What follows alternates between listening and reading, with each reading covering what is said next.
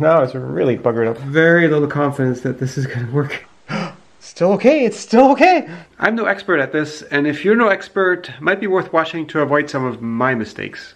This is my wife's fifth generation iPad, and it's been cracked for a while, but lately the touchscreen has become too flaky. So I bought a new touch sensor for $40 and I've never done this before so this is an amateur way of replacing that screen. The kit came with a few tools and the video I've seen people do it they always have a heat gun with a small nozzle.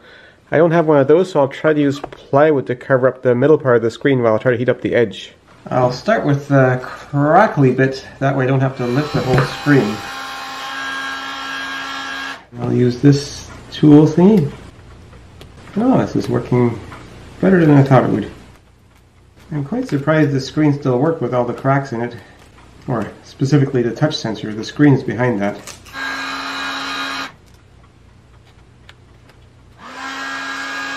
It seems that lifting whole segments is actually much easier than these crackly bits, so maybe I should just work my way around the edge. Uh-oh. I think that was thermal stress. Oh dear, look at that screen. Now it's really buggered up. Huh. Okay, maybe I'll work this way. And I'll use the lower setting on the heat gun now.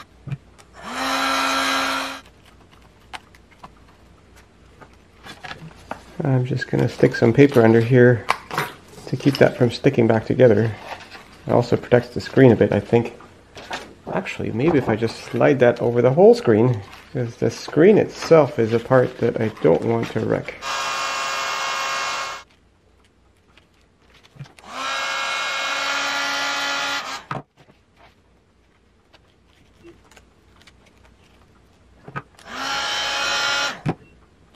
Oh, There's some progress. So the low setting of the heat gun was not adequate. And I guess with enough heat applied in one spot, I can get this out. Oh yeah, there's the wire connections to that screen right there, which fortunately, since I'm replacing the screen, I don't have to worry about saving those. Not the uh, screen, but the digitizer, the, the touchscreen part. Yeah, with enough heat, this lifts out pretty good. The key is uh, heat much more so than force. It doesn't take that much force once it's hot enough. Now, most of the tutorials I've watched, uh, they manage to get the screen out in one piece. I mean the digitizer. But why would you do that if it's in one piece? So I'm smelling something slightly burnt, but that's actually the wood here. Because this heat gun is quite hot. Not like a blow dryer. Yeah, and this plastic thing is too, uh, can't take the heat. I got myself a second tool, a utility knife blade. So let's try heating that up again and see if I can get that lifted up enough that I can get something under it. I don't know if this is going to be successful. Okay, got a bit further. Got to reach critical temperature. Okay, now I think I've got the whole screen loose, which means I can unplug it connectors on this side, which is why I had to kind of get around it. Oh, right, I got to get the LCD out first, and I still have garbage on top of that. Change my shield a bit. So that's hot enough that my paper's starting to turn brown. And yet this glass is not letting go. Ah.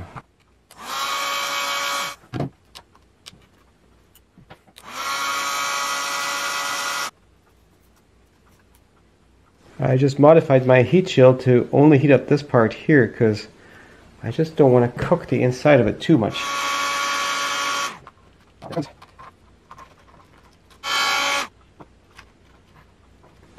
need to get some goo off, some crap off of here too. I think I'll do that first before I try to take the screen out.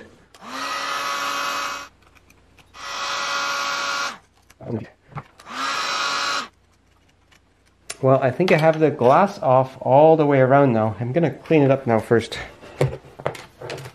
Oh, all the sticky crap. Next step is to actually take out the LCD screen because the connectors for the touchscreen part are actually under it.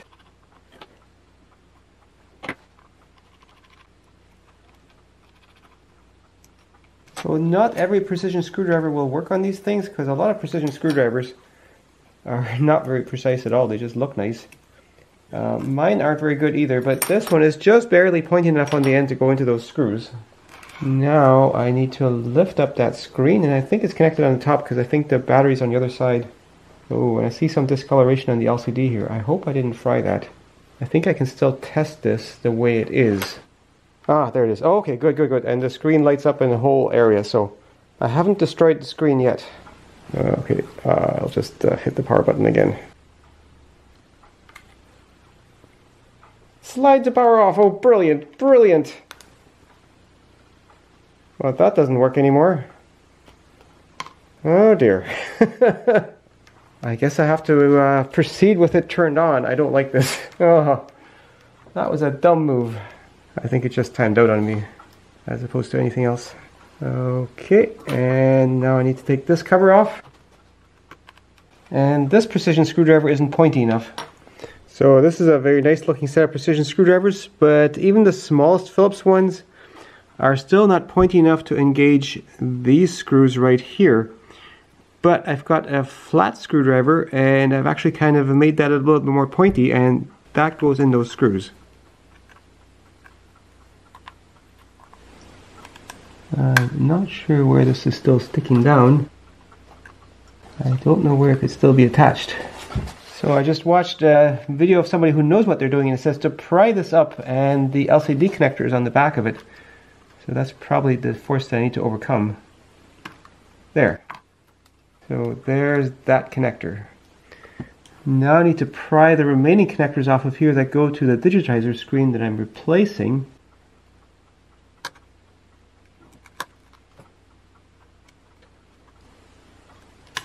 A plug-in thingy, and so is this one, I'm sure.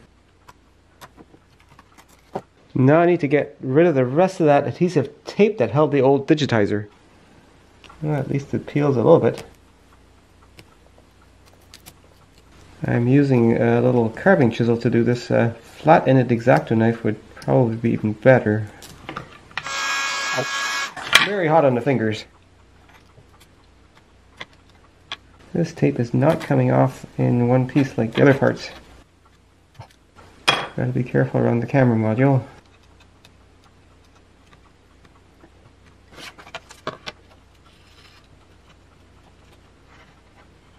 Now, some of the videos I've watched talk about how to extract this home button without breaking it. Fortunately, my new screen comes with a new home button, so I don't have to worry about that. So this needs to go in some slot in here with a tab on the back flipped up. But I can't really see very well where that slot is. No, that didn't do anything. I stopped filming for a bit to get that in there because my fat fingers are going to be in the way anyways. So I got this quite a bit further in now, and now I think I can push this tab down to lock it in place. Yeah, and the cable moved a bit while I did that, so I hope that's good now.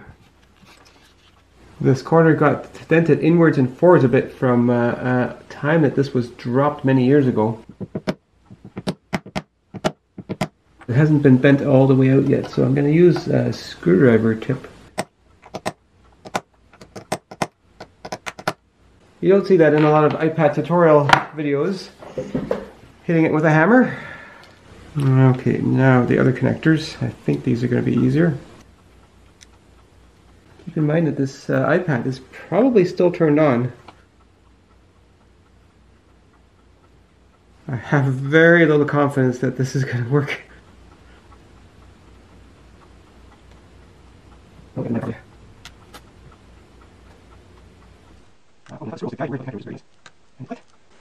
so I'm not putting any screws in there right now. I think that would just jinx everything. Okay, we'll push the power button.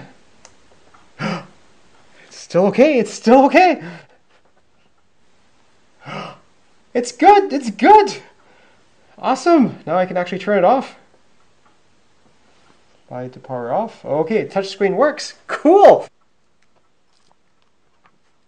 So I want to leave the screen plugged in, but I need to prop it up vertically. I have to say this job is quite a bit more tricky because I'm trying to make it so that you, the viewer, can see what's going on, which means I'm not necessarily approaching this from the uh, most ergonomic angle. Yeah, Trying to get these fiddly screws back in there. Ah, got it stuck to the end of the screwdriver.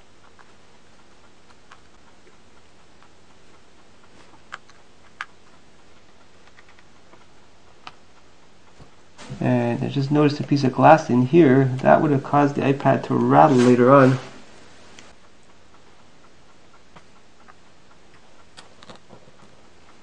I'm going to try to bend this corner a little bit more still. The screen cracked when that got bent. Possibly I need to crack the screen again to make it fit into that bent corner. With my hammering I may have flattened the ridge on here which actually makes the problem worse. I don't really care so much what it looks like, as long as the screen fits in. Still fits. Well, it seems to work.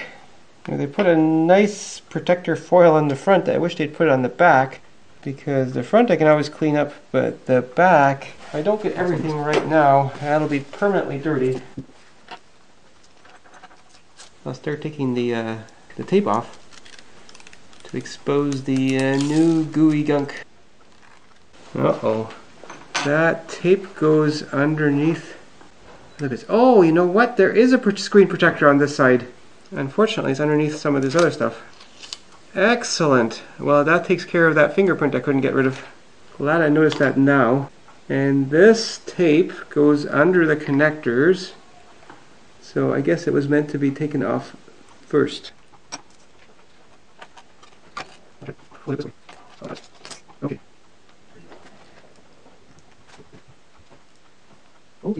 I'm sorry for getting the uh, framing off so many times.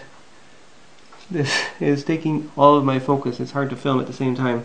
So now, if I need to open this up again, I'm basically going to need a new screen or a new front thing. But this part, this part only cost $40 Canadian with tax and shipping from Amazon.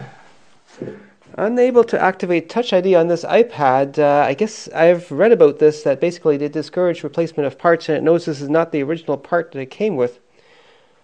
Doesn't really matter though because this thing doesn't have Touch ID, so whatever. Okay. Uh, yeah, it seems to work. Let's type a note. It's typing that I had the most difficulty with. Camera still works, front facing and back facing. I think this is all right. So final step, tearing off the screen protector. And there's a little bit of specks here and here, but that's okay. There's also a bright spot in this corner. I think I damaged the display with too much heat. And there's a little tiny bit of plastic stuck in here. I don't know what that's from. But overall, way better than it was. This heat gun is a little bit too coarse, so afterwards I bought this little mini heat gun thing, but uh, testing it, I don't think this is hot enough to really undo the glue on this. But uh, these ones, when they're new, typically also have a nozzle that goes much finer. Or you can just get a fancier one of these. This is like the cheapest one off of Amazon.